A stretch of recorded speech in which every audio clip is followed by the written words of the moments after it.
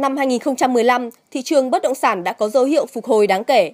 So với năm 2014, giá chào bán ở một số dự án hạ tầng đầy đủ tăng từ 2 đến 5%, lượng giao dịch cũng tăng khá cao. Chỉ riêng ở khu vực Hà Nội có gần 20.000 lượt giao dịch thành công, tăng 1,7 lần so với năm 2014.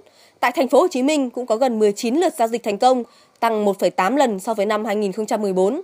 Theo báo cáo của Bộ Xây dựng, trong 3 năm áp dụng các biện pháp tháo gỡ khó khăn cho thị trường bất động sản cùng với việc thực hiện nghị quyết số 02 năm 2013 và số 61 năm 2014 đã giúp cho thị trường bất động sản phục hồi tích cực, giúp đỡ cho các đối tượng nghèo thu nhập thấp khó khăn về nhà ở. Cũng theo báo cáo của Bộ Xây dựng, lượng bất động sản tồn kho liên tục giảm.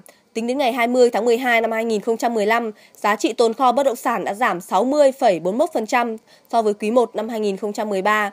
Cụ thể, tổng giá trị tồn kho bất động sản giảm 77.659 tỷ đồng. Tín dụng lĩnh vực bất động sản đang trong đà tăng trưởng.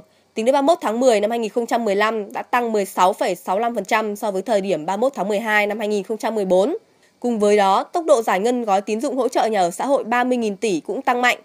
Tính đến hết tháng 12 năm 2015 đã đạt 90%, cụ thể là đã cam kết cho vay 26.999 tỷ đồng và giải ngân được 59% cho 60 dự án và trên 40.000 hộ gia đình Tính đến nay, trên địa bàn cả nước đã có 63 dự án đăng ký chuyển đổi từ nhà ở thương mại sang nhà ở xã hội với quy mô xây dựng khoảng 42.370 căn hộ.